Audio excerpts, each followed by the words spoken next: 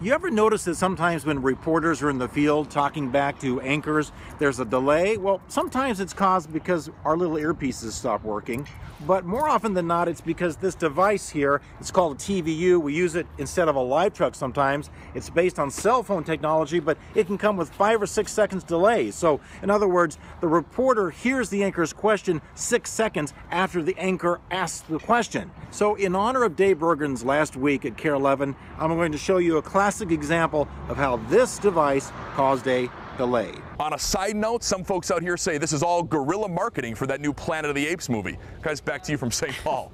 I just want to know how you coax a gorilla out of the closet. How do you do that? All right, thanks, Dave. I guess we don't know the answer. you know, it was more esoteric. I you were guess just so. throwing it out into the universe. I guess so. Obviously, we had some IFB problems with Dave Bergren. On to other news of the day today. It is